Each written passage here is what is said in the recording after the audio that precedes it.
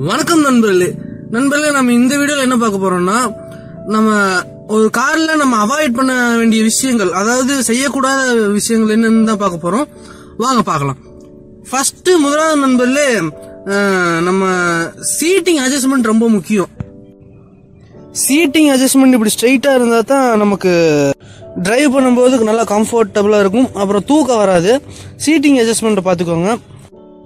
அடுத்ததா மியூசிக் போடும்போதெல்லாம் ரொம்ப அதிக சவுண்ட் வச்சீங்கன்னா நமக்கு இரிட்டேட்டிங்கா அப்புறம் நம்ம நமக்கு க- நம்மளோட கான்சென்ட்ரேஷன் எல்லாம் மாறிடும் மியூசிக் எப்பவும் அளவா சவுண்டு வச்சுக்கோங்க. அடுத்ததா நண்பர்களே சீட் பெல்ட் போட்டுக்கோங்க. நீங்க நியூஸ் பார்த்துருப்பீங்கன்னு நினைக்கிறேன். சீட் பெல்ட் போட தான் ஏர் பேக் கூட விரியுமாமா அதனால அதெல்லாம் பார்த்துக்கோங்க. சீட் பெல்ட் அதிகபட்சம் போட்டுக்கோங்க. அது நமக்கு சேஃப்டியும் கூட. அடுத்த நண்பர்களே கீழே பார்த்தீங்கன்னா இந்த கிளச்சுக்கு மட்டும்தான் லெஃப்ட் லெக் யூஸ் பண்ணணும். பிரேக்குக்கு அதுக்கெல்லாம் மாற்றக்கூடாது அதே மாதிரி ரைட் லெக்கையும்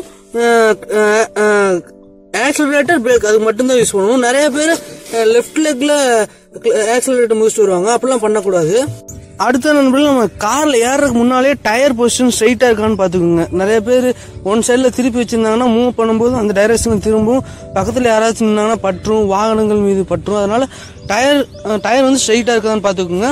அப்புறம் ஏர் ப்ரெஷரும் கரெக்டாக இருக்கான்னு பார்த்துக்கோங்க. ஈவனாக இருக்கணும்.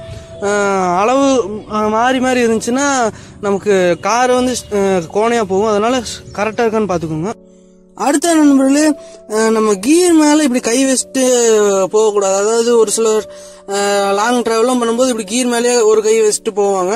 அது மாதிரிலாம் போகாதீங்க. அது மாதிரி போனீங்கன்னா நமக்கு கீரில் ப்ராப்ளம் ஏற்படும். அதனால கீர் மேலே இப்படி கை வச்சுட்டு போகாதீங்க. வேற மற்ற பக்கம் எங்கேயாச்சும் வச்சுக்கோங்க. அடுத்தது நியூட்ரு பண்ணக்கூடாது. நம்ம இறக்கத்துல வந்துட்டு இருக்கிறப்போ பெட்ரோல் மிச்சப்படுத்த அப்படின்னு நினைச்சிட்டு நியூட்ரல் வந்தீங்கன்னா நமக்கு பிரேக் பிடிக்க முடியாது. கரெக்டா கண்ட்ரோல் கிடைக்காது. அதனால நியூட்ரு பண்ணாதீங்க.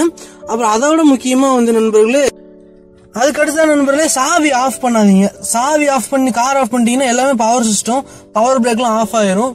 அதனால பிரேக் பிடிக்காது. அப்புறம் ஸ்டேரிங் வந்து பவர் ஸ்டேரிங்லாம் ஆஃப் ஆயிரும். அதனால சாவி எப்பவுமே ஆஃப் பண்ணாதீங்க. இறக்கத்துல வரும் நியூட்ரல் பண்ணி அது மாதிரிலாம் பண்ண வேண்டாம்.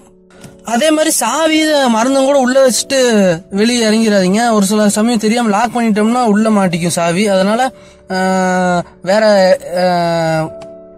எக்ஸ்ட்ரா கீ இருந்துச்சுன்னா பிரச்சனை இல்லை. மற்றபடி இல்லைன்னா அது ப்ராப்ளம் ஆயிரும்.